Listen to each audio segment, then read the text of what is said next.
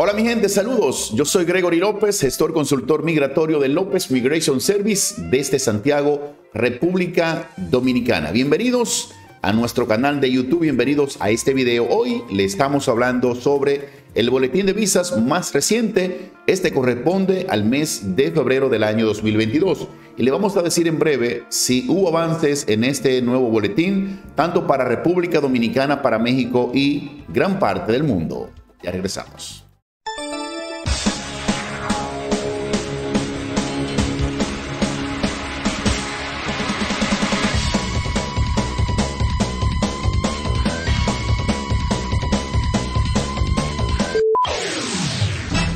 Gracias a la gente que viene de TikTok, nuestra gente de Instagram y nuestros amigos de Facebook, aquellas personas que están con nosotros en nuestro canal de YouTube y aún no nos siguen en TikTok, Instagram y Facebook, por favor que lo hagan y que también le den a la campanita de notificaciones de nuestro canal para que cuando nosotros subamos algún material, pues la plataforma les notifique. Entonces, señores, vamos a darle a conocer a todos ustedes a continuación el boletín de visas más reciente este corresponde al mes de febrero del año 2022. Visa boletín más reciente correspondiente al mes de febrero del año 2022. Vamos a buscarlo acá para darle a conocer a ustedes los tiempos de procesamiento en este nuevo boletín de visas a quienes pues le va a llegar cita en los próximos días o a quienes le podría llegar cita en los próximos días. Ahí tenemos el boletín de visas que corresponde al mes de enero del 2022. Vamos a comparar a ver si hubo avances o no.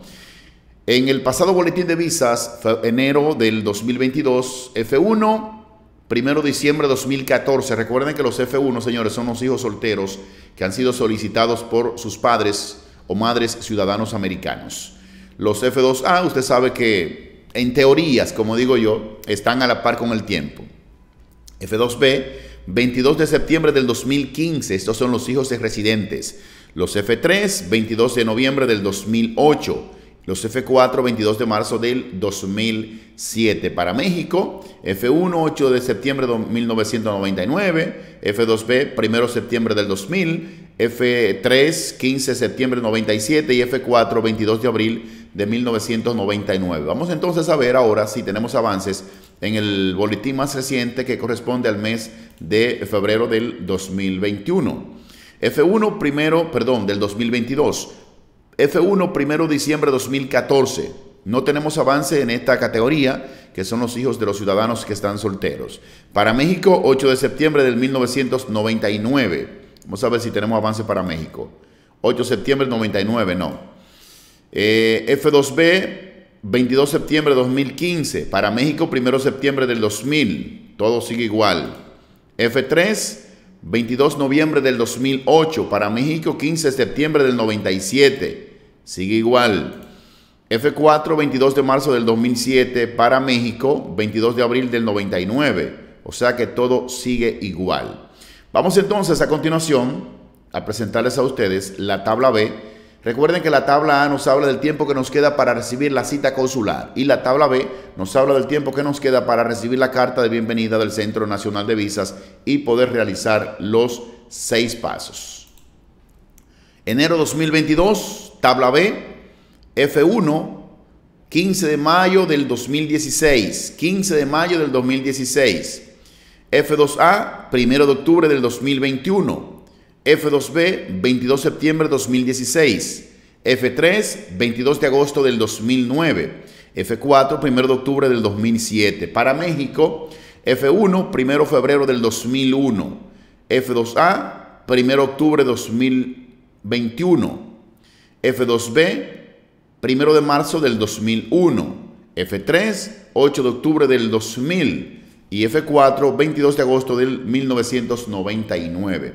Vamos a ver ahora en el mes, en el boletín de febrero del 2022. Tenemos F1, mayo 2016, República Dominicana. No tenemos avances. F2B, 22 de septiembre de 2016. No tenemos avances tampoco. F3, 22 de agosto del 2009. No tenemos avances. F4, 1 de octubre del 2000. No tenemos avances. Para México, F1, 1 de febrero del 2001. Igual. F2B, 1 de marzo del 2001. F3, 8 de octubre del 2000. Y F4, 22 de agosto de 1999. Por ende, señores, no tenemos avances en el más reciente boletín de visas que corresponde al mes de febrero del año 2022. ¿Y por qué no tenemos avances en el boletín de visas para República Dominicana, para México y gran parte del mundo o para todo el mundo? Precisamente, señores, porque las categorías, las peticiones que corresponden a las diferentes categorías están paralizadas.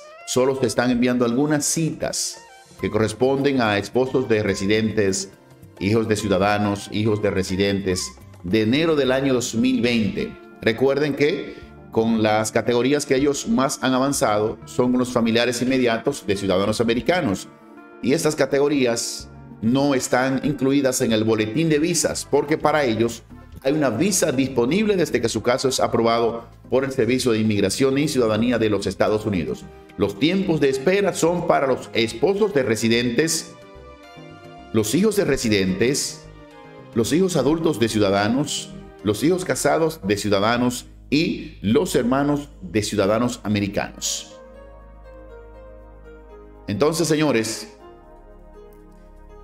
para las demás categorías, prácticamente el boletín de visas está paralizado porque el consulado no está enviando citas. El consulado no está enviando citas. Desde hace más de un año, la inmigración prácticamente está detenida.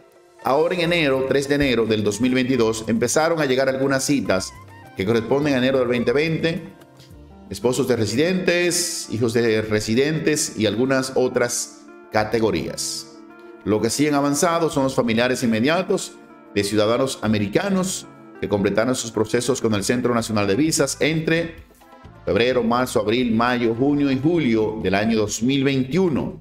Los demás, las demás personas, F2A, F2B, F1, F3 y F4, pues han recibido algunas citas, las personas que corresponden al mes de enero del año 2020. Entonces es lamentable la situación, lo que está pasando con eh, los diferentes consulados, las embajadas en el mundo, la inmigración prácticamente está detenida, yo diría que en un 50 o 60%. Pero vamos a colaborar todos, nosotros todos somos culpables de esto, porque no traímos el COVID, pero eh, estamos haciendo muchos desarreglos, no nos estamos llevando de las autoridades, estamos propagando el virus, no nos estamos cuidando, no estamos usando mascarillas,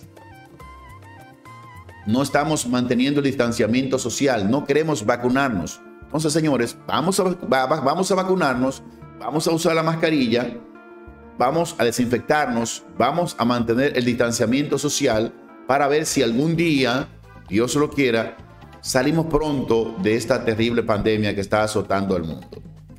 Gracias de corazón a cada uno de ustedes siempre por seguirnos en nuestro canal de YouTube López Migration Service. Decirle que estamos ubicados en la República Dominicana, específicamente Santiago de los Caballeros. Yo soy Gregory López, su amigo de siempre. Sean felices y que la pasen bien. Gracias.